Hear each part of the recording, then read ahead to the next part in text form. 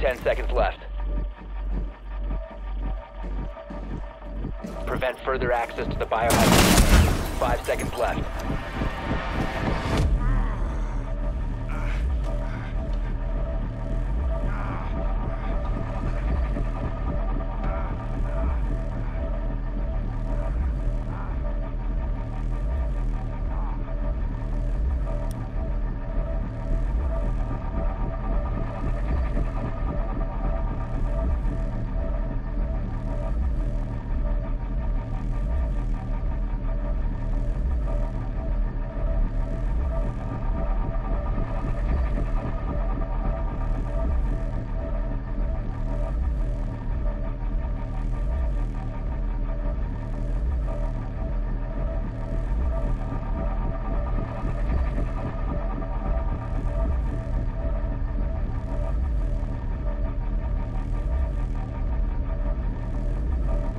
Op 4 is securing the biohazard container.